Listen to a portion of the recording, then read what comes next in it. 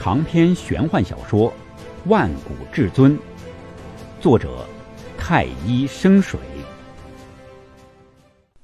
若是王振知道对方一直在拿自己做试炼的话，不知内心会有何想法。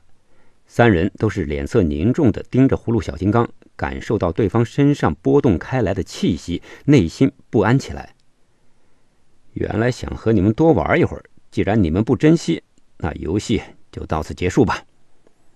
李云霄轻喝一声，葫芦小金刚骤然踏步上前，武尊的气息直接压了过去。虽然没有领域之力，却如排山倒海。紧接着，金刚拳打出，一方空间直接笼罩在权威下，随时要破碎开来。王震三人大惊。这一拳之力，竟然让他们难以生出抗拒之力来。三个人都是低阶武尊，而葫芦小金刚则是半妖半气，足以抗衡武尊巅峰的存在。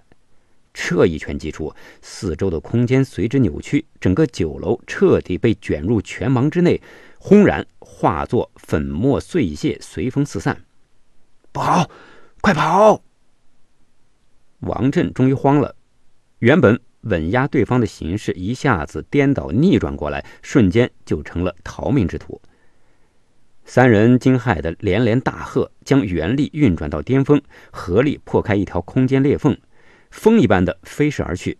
三道光芒冲出葫芦小金刚的掌风范围，往外逃遁。梅东尔虽然知道葫芦小金刚能够胜过三人，但是一拳下去，形势力改，将三人打得落荒而逃，还是看得呆滞了一下。哼，既然玩上了，那就别想走了。李云霄心念一动，施展出最后一点魂力来进行移形换位，直接将葫芦小金刚传送到三人逃荒落地之前，巨大的身影将三人拦截下来，又是一拳轰落。不要啊！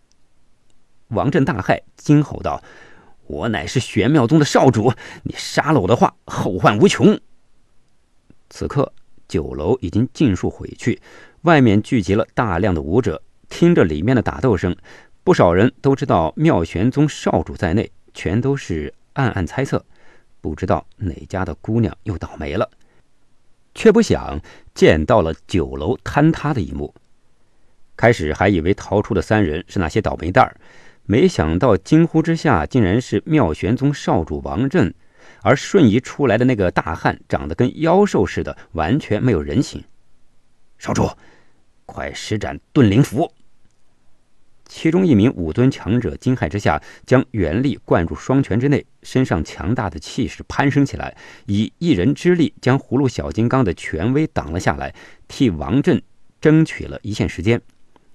另外那名武尊也猛然之间觉悟了，这种情况之下，想要大家都活命是不可能的了，唯有丢卒保帅。他也瞬间爆发出最强之力，猛喝道：“少主，快走！”两个人在危机之下忠心护主，让四周之人都是刮目相看，但也是心中震撼连连。到底是何人，竟然敢杀妙玄宗的少主？而这人不人、妖不妖的东西，又到底是什么呢？王震在惊骇之后，也终于冷静下来。只是他这种平日里高高在上的存在，何曾面对过生死危险？这才在死亡的恐惧之下，一时慌了手脚。冷静之后，立即从戒子当中取出了一块古玉来，飞快地打入了几个法诀。李云霄远远望见，瞳孔骤缩，沉声道。古灵符，而且是遁符。他的身影瞬间化作一道光芒冲了上去，口中传音给梅东二说道：“你先回雷锋商会据点，有莫小川在那儿，足以保你的安全。我杀了此人就来。”就在李云霄冲出的瞬间，葫芦小金刚的一拳终于破掉那两名武尊联手之下布置的防御，直接将两人轰成了渣渣，血肉飞了满天。而王震也在这一刻激发了手中的古灵遁符，竟然化出一道雷电之光，瞬间飞驰百里之外，消失在众人眼前。这遁符的功效，竟然是遁术当中最强的雷遁，瞬息百里。李云霄冷哼一声，脚下踩一股金光拳爆炸后的余波，追着那道光芒而去。葫芦小金刚也冲天而起，跟在李云霄的身后。到底是怎么回事？竟然有人追杀妙玄宗大公子王振？我没看错吧？我靠！当真是长见识了。刚才那个妖人到底是什么修为？一拳之下竟然击杀了两名武尊，太过恐怖了。有啥好奇怪的？武尊也只是在你我面前高不可攀而已，在那些真正的强者面前还不是蝼蚁一般。我看那少年的身份也绝不会简单。当然了。敢当街追杀妙玄宗的公子，还有如此强大的手下，也一定是和妙玄宗一般，同属北域十大门派之中的强大势力。嘿，这可是大新闻了！难怪北域十大宗门要发生乱战了。若真是如此的话，定然要震惊整个大陆了。梅东儿听着周围之人的各种议论，心乱如麻。暗想，都怪自己，难道自己真的是一个惹事精，是一个不吉利的人？他难过之下，急忙朝着雷锋商会所在之地飞去。现在唯有请莫小川出来主持。若真的让李云霄杀了王振，那后果真的不堪设想了。李云霄带着葫芦小金刚飞出数百里远，已经是离开雨泽城一段距离了，进入无人的荒漠之中。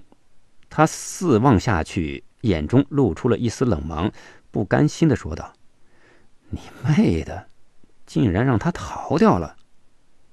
哦，即便用上盾符，想要从你的手里逃掉，也绝非易事啊！”妖龙的声音传来，似乎有些不相信。李云霄哼道：“那厮身上肯定还有其他的隐匿之术。”毕竟妙玄宗的实力也非同小可，他身为少主，身上的宝贝定然不会少。这也倒是啊，妙玄宗，你自己也小心一些，这已经不是普通的门派了，不是你现在的实力可以随便玩的。妖龙也替他担心起来。这一下王振逃掉，也留下了隐患，在北域，你多留个心眼吧。毕竟强者太多，你仇人也不少。妖龙说罢，李云霄突然眉心轻蹙，目光凝聚了起来。他突然手中双指一点，一道剑芒从指芒射出，凌空点向数百米远的虚空。剑芒所过之处，空间一阵晃动起来，王震的人影从其中浮现，脸上露出震惊之色，慌忙的就要逃走。哼！既然让你显形了，就给我永远的留下吧。这雨峰城外一片荒芜，却也是一个长眠的好地方。葫芦小金刚从眉心中飞射出去，全力直接镇住前面的空间，如同庞然大物一样在空中飞过，遮云蔽日，让王振一颗心直往下沉。你不能杀我，我真的是妙玄宗的少主。你杀了我的话。真的会不得好死的。王震万分恐惧，他以为李云霄不相信他的身份，否则的话断然没人敢杀他。他取出一块玉牌来，置于身前，说道：“这玉牌之中有我父亲大人的一缕神念，若是你苦苦相逼的话，我掰碎玉牌，你们必死无疑。”他口中威胁，但似乎。忌惮极大，这的确是妙玄宗宗主王贡给他的一块护身玉牌，就连王达都没有，也是因为这个儿子他最喜爱，必要之时可以救他一命。但是神识附身也是有极大隐患的，首先分出神识之人，若是这缕神识耗去，则必然心神受到牵连，修为受损。王贡乃是北域十大宗派之一的宗主，正在全力冲刺武帝巅峰的修炼之中。曾经嘱咐过王振，若非生死关头，切莫使用。还有另外一个原因，就是王贡的这缕神念太过强大，若是附身身上的话，定然会给肉身留下无穷的隐患，影响到日后的更进一步修炼。所以，不是万不得已，他根本不想。也不舍得使用。哦，那你掰呀，我等着呢。再不掰的话，可就没机会了。李云霄嗤笑一声，葫芦小金刚随着他的嗤笑也大吼了起来。王震被吼声吓了一跳，手中一紧，砰的一下，玉牌破碎。随后，一道紫色光芒渐渐的从玉牌当中升起，在空中凝雾化形起来。紧接着，一名朱色长袍的老者模样在那紫光变幻之下出来，身上光芒闪烁不定的出现在空中，双目如电的凝视着葫芦小金刚和李云霄。父亲大人，救我！王震看见老者，心中一震，随后急忙求救起来。咦，是王贡啊！竟然可以神念化形而出，这缕神念够强大呀！李云霄吃了一惊，随即喝令葫芦小金刚停了下来。他也一跃而起，侧在葫芦小金刚身后，静观其变。反正王震已经是砧板上的鱼肉，逃不掉了。哦。你也认得本宗？既然如此，何来胆子，竟敢伤我的儿子？那缕神念双目中爆射出怒芒来，厉声喝道：“还不快速速跪下，给我认错，听候发落！”李云霄道：“以前怎么没看出你脑子有问题啊？”王贡的神念浓眉一皱，怒道。你是何人？何时见过本宗？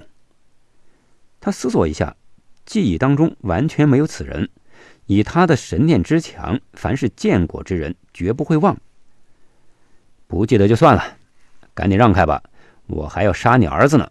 若是不识趣，灭了你这道神念，怕是你的实力要大损下来。李云霄淡然的说道：“什什么？”王贡。几乎以为自己听错了，就连王震也是一脸的愕然。小子，你说什么？